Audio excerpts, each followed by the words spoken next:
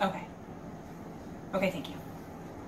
Hi, my name's Rebekah, and I'm a paranormal investigator working for a paranormal investigation company that was started decades ago. We have a specialty in the McKay family, and okay.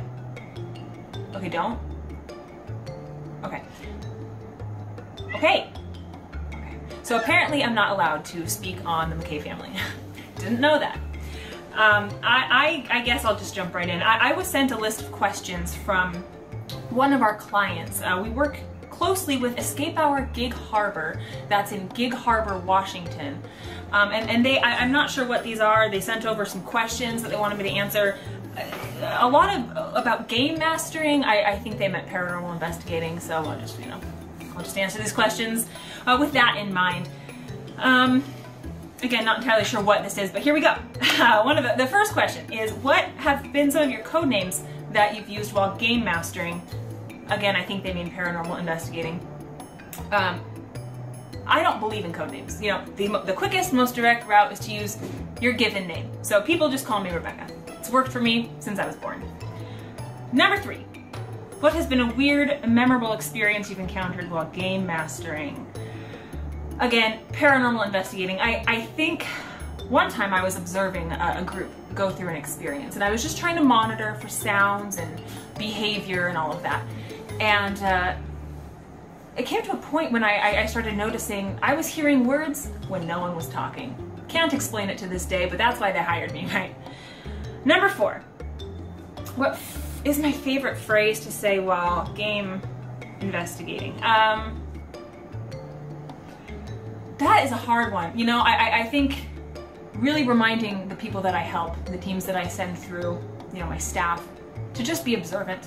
Just look, you know, observe. Saved more lives than one, am I right? Okay, moving on. Number five, what's a must-have during game mastering for you? Um, paranormal investigating, probably, well, you know, your walkie-talkie. That is the one thing I always say to have on you. Your walkie-talkie or you don't know what's going on out there and you could die. Okay? Okay. Okay, I'm sorry. Okay. I'm sorry. Number six. Favorite customer, give them a shout out.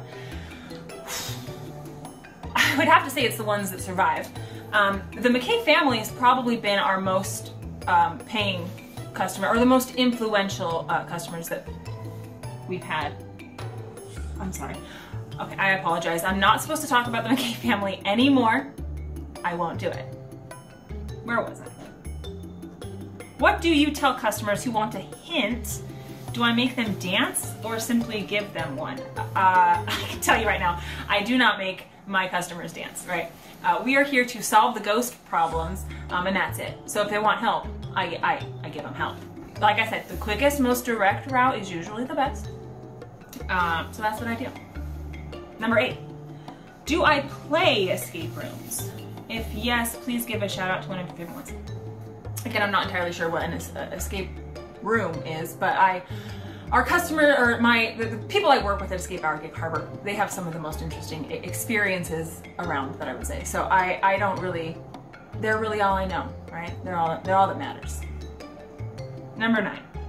What is my favorite part about game mastering? At, this point, we're, we are talking about paranormal investigating. So my favorite part about it is really um, rooting out the ghosts, right? Solving all the problems, uh, but also getting to know the people. That, you know, you meet the friends along the way. The human condition one can really find out a lot about when you are investigating those paranormals. and uh, lastly, if I could give one suggestion to my players, what would it be? Again, weird. Uh, suggestion to my customers. Choose us, right? I am the best investigator that you could get for your money. So choose me.